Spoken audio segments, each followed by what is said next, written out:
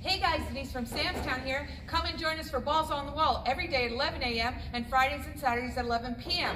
Bingo on any of the 15 balls on the wall, get double pay. Bingo on N31 and get six free electronic small rainbow vouchers. Come on into Sam's Town in October because when you're here, you're home.